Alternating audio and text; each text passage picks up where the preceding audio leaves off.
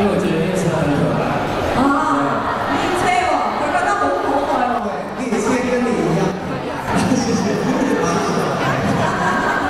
还有吗？来，弟弟。谢谢。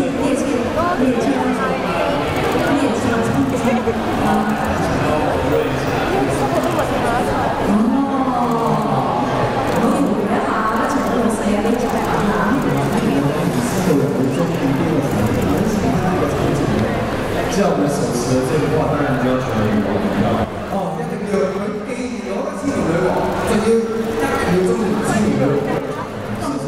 这次特别用一个那个呃投影的装置，哦，刚好这个装置也很对，就是这个投影装置，就大家可以一起来享受一下这个。